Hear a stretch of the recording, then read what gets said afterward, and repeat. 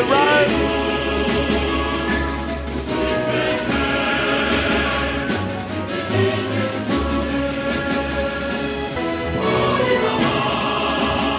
Et attaque de Pierre Roland, lâche